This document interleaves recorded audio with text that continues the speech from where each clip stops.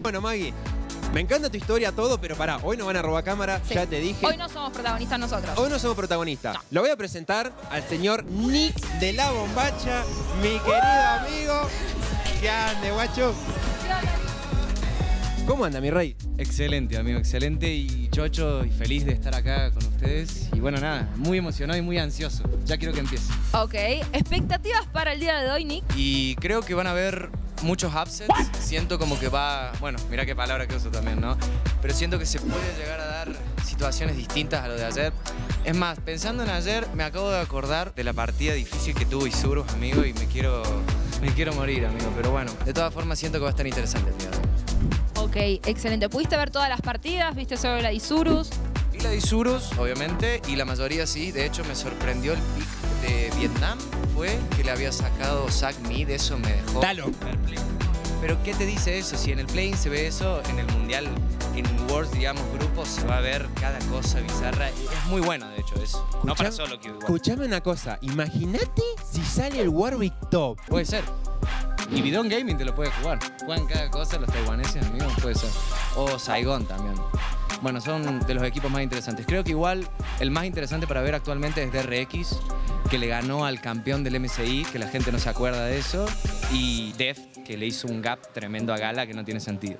Maggie, yo no sé si vos pudiste ver la partida, pero ayer hubo una partida que justamente todo el público de México estaba bancando al equipo vietnamita como si fuese literalmente Isurus Gaming. Sí, sí, sí. Aparte, algo que tiene bueno el público mexicano es que también lo dijo Deft, inclusive de DRX, se siente mucho la calidad de la gente, eh, es muy hospitalaria, la gente banca mucho, no solamente al equipo local, lógicamente, Isurus. ¿Qué crees que te diga? Se vive mucho el mundial acá. ¿Algún pick que te gustaría ver, Nick? Que digas, mira, me gustaría ver esto exótico. Exótico no es, pero porque soy OTP y me gusta mucho Vladi, así que desearía que algún equipo chino lo saque. No es injugable, ojo ahí, se puede llegar a piquear en la top lane, pero es como mi pick. Y si no, me gustaría ver un Nocturne Mid. Siento que Vietnam y GAM deberían traer algo así seguramente. Hablando de las partidas, vimos muchas cosas ayer y yo sé que estás como últimamente mucho más abocado desde el lado de lo también profesional, ¿no? Venís ahí casteando muchísimo. ¿Te gustaría castear alguna de las partidas? Me vuelvo loco, sería un sueño cumplido realmente. Poder castear el Worlds, sí, sí, sí, me vuelvo loco. O sea, calculo que a la gente le gustaría, porque hace rato venimos trabajando haciendo la liga, la LLA. Tengo un muy buen equipo de trabajo también y que me avala y siempre me banca, así que sí, es un sueño. Uno en el chat, por favor, para todo lo que quiere ver a Nico de la Bombacha casteando. Papá, yo me vuelvo loco, boludo. Yo me vuelvo loco.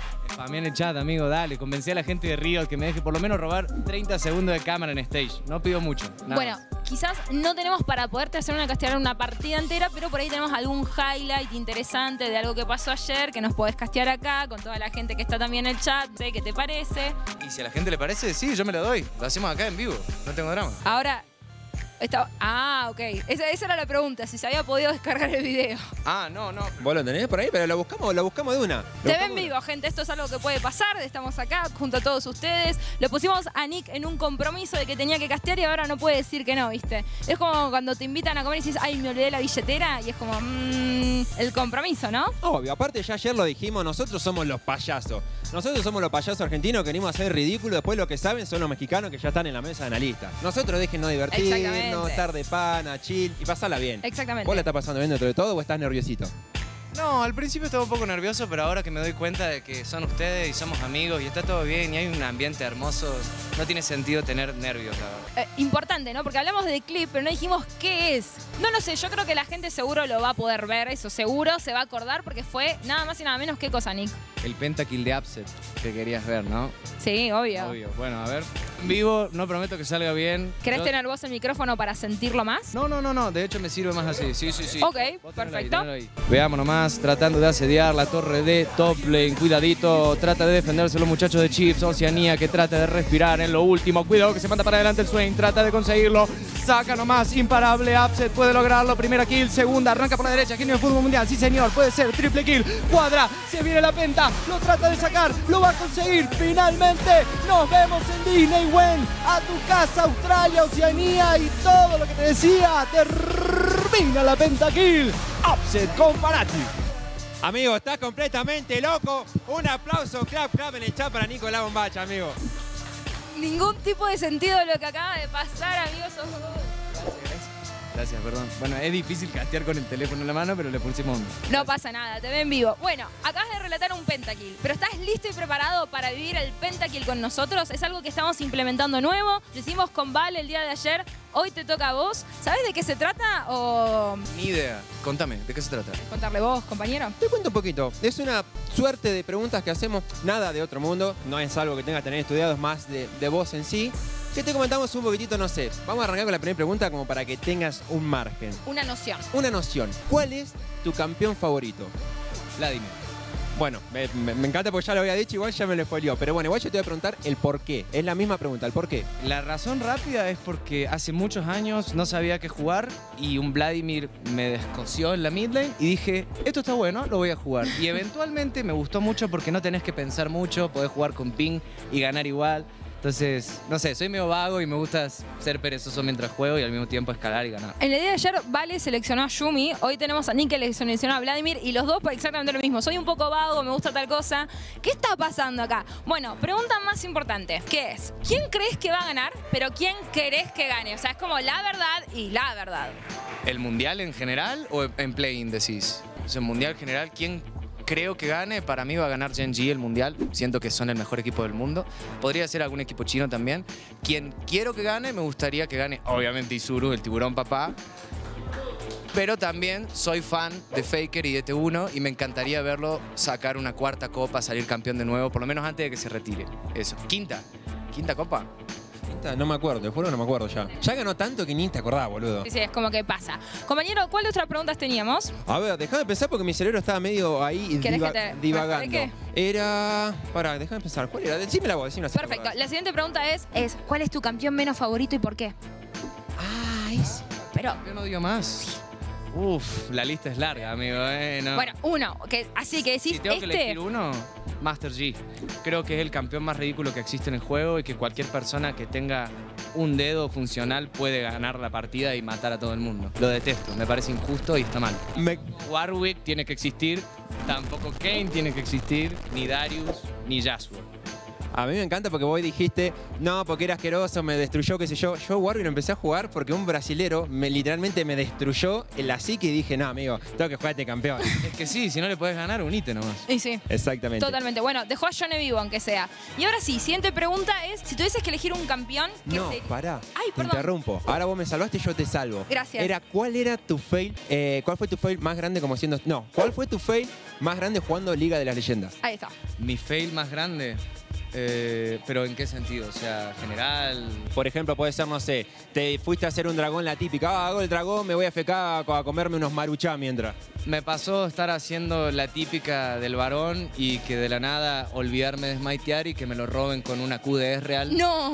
Y no, con una ulti de es real desde el otro lado del mapa, te dan ganas de morirte. Básicamente no hay otra forma de describirlo. Sí, sí, ese es de lo peorcito. Y encima descender después de perder. No, o sea, todas juntas, boludo, todas juntas. Pasa, pasa, pasa. Ahora sí, Maggie, la Totalmente. quinta, toda tuya. Perfecto. Igual, sí, claro, la quinta. Y esto es así. La pregunta es, si tuvieses que elegir... eh, eh, voy de nuevo, discúlpenme. Si tuvieses que elegir un campeón con el que te besarías, con el que te casarías y al que matarías, ¿quiénes serían? Me besaría con LeBlanc, premio doble, obviamente. Me casaría. Fue golosa la guacha con la primera Me casaría con Brown, tiene pinta de ser un tipo laburante y proveedor, familiero, muy familiero. ¿Y a quién mataría? Y a Master G de nuevo. Por si teníamos dudas, lo mató dos veces, ¿viste? Ahí está. O sea, si estuviese muerto el loco, enterrado, lo desenterrá y por si las dudas lo reviví, lo vuelve a matar. Le mato a la abuelita y se la vuelvo a matar también. ¡Qué malvado! Y ahora, igual yo tengo una pregunta acá personal, creo que todavía tenemos un poquito de tiempo, que es, si te tuvieses que ser un campeón dentro de la Greta, que no sea Vladimir, te lo baneo, ahí, como ahí estamos en selección de campeón, te baneo Vladimir, ¿quién serías?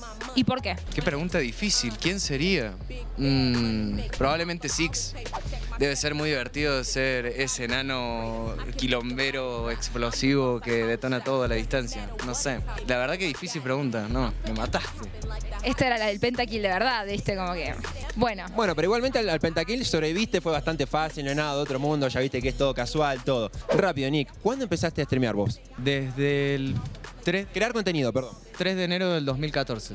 uh, Ocho años ya, sí, y contando. Y vamos a seguir, porque me encanta, es mi pasión y es lo que más disfruto en esta vida. ¿Qué fue lo más lindo que te pasó? Conocer a otros creadores gracias a esto y sobre todo porque cuando vos estás en un ambiente, normalmente es fácil cruzarse a gente que piensa igual que vos y lo lindo de este ambiente es que no se prejuzga, todo el mundo se quiere, se trata todos bien y lo disfruto mucho, se pasa bien. La verdad que la pasamos muy lindo. Totalmente. Bueno, Nick, última pregunta, sí. ¿Cuál es así como tu eh, expectativa más grande que puede llegar a pasar? Así como, como algo que te gustaría que te sorprenda del Worlds. Que Latam pase a grupos, por el amor de Dios. Vamos, hermano, vamos, hinche por Isuru, loco. Vamos Isuru, carajo, vamos Isuru. Bueno, con la bendición de Nick Daboom, te digo, querido Nico, que tenemos como que ya ir como terminando esta sección. Tenemos la bendición del buen Nick, del Nico de la Bombacha, para que Isurus pueda, oigo, que ocurra el milagro y pueda seguir en carrera. Creo que ahora sí, ya estamos con cero tiempo. Nos tenemos que ir como despidiendo, ¿verdad? Tenemos la trivia, Maggie. Tenés razón, es verdad. Yo ya estaba como que bueno, como que vivía. Chicos, recuerden que pueden participar dentro de lo que es la trivia con el hashtag TriviaWords para poder contestar las preguntas dentro de lo que es Twitter. Y la pregunta del día es, ¿cuánto pesa y cuánto mide la nueva copa del LOL? Y más importante de todo, que está hecha por Tiffany también, así que como que ahí le tiramos un spoiler por si lo quieren buscar en redes. Perfecto, Maggie. Bueno, Nick, muchas gracias por habernos acompañado. Maggie, como siempre, una diosa. Gracias por ser mi compañera. Nick, palabritas. Eh, muchísimas gracias a toda la gente que nos acompaña y bueno, disfruten el mundial.